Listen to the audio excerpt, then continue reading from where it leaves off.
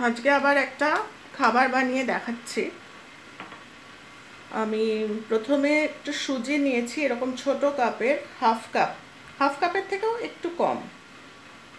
সুজি নিয়েছি আর ময়দাও নিয়েছি। সম পরিমাণ মানে হাফ কাপের থেকে একটু কম।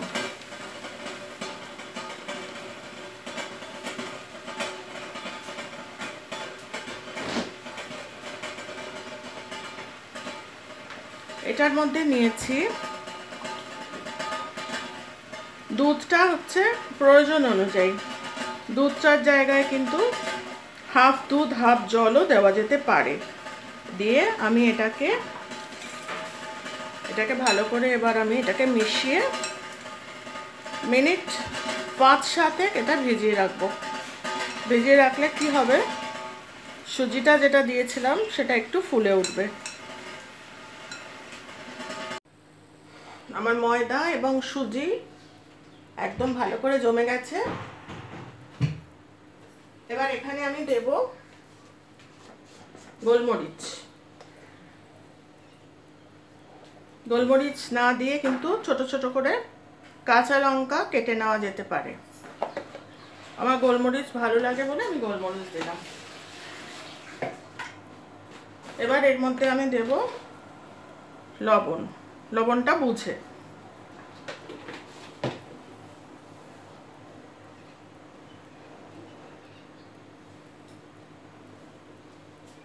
এবার এর মধ্যে দেব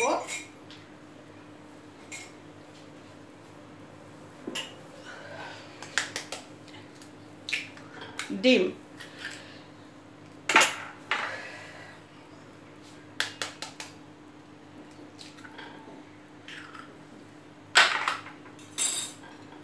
ডিম দিয়ে এটা ভালো করে এবার আমি এটা আমি জানি এটা অনেকেই করে বাড়িতে। এটা খুব হেলদি, বাচ্চাদের খেতে খুব ভালো লাগে।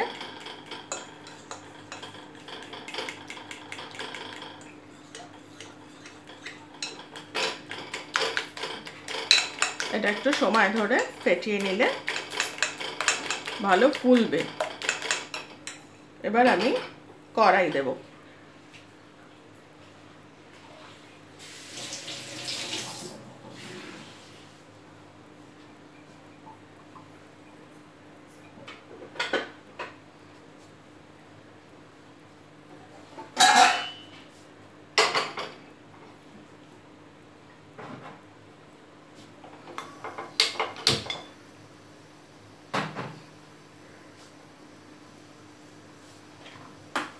এবার এটার মধ্যে যেটা দেব, এটা আমার ভালো করে ফাটানো হয়ে গেছে।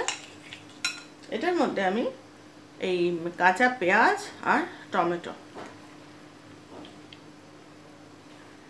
এটার মধ্যে ক্যাপসিকামও দেওয়া যায়। ক্যাপসিকাম আমার মেয়ে একদম ভালোবাসে না বলে আমি ক্যাপসিকামটা অ্যাভয়েড করে গেলাম। এবার এটা আমি ফ্রাই করে নেব। এটা খুব বেশি তেল হবে না। অল্প অল্প তেল দিয়ে দিয়ে আমি এটাকে ফ্রাই করব।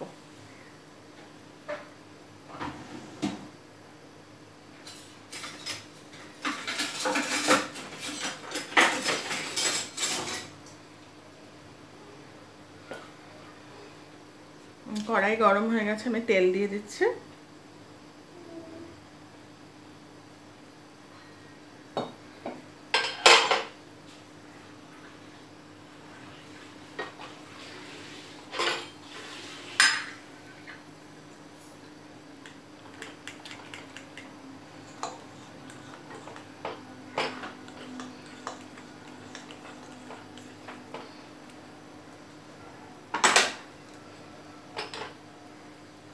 গ্যাসটা একটু কমিয়ে নিলে ভালো হয় নাহলে অনেক সময় নিচটা ধরে যায়।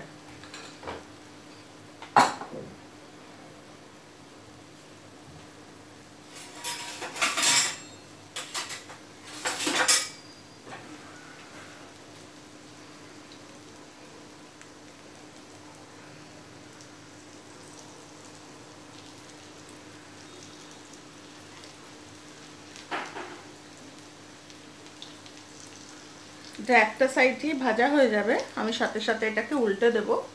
দিয়ে আরেকটা পিঠ আমি ভালো করে ভেজে নেব।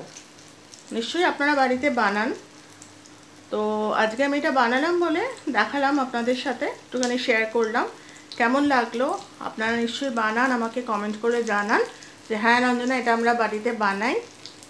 একটু সস এবং একটু স্যালাড এইসব দিয়ে খেলে খুব খুব ভালো এটা হেলদি আর খুব টেস্টি কেমন লাগল? আমাকে কমেন্ট করে অবশ্যই জানান। Thank you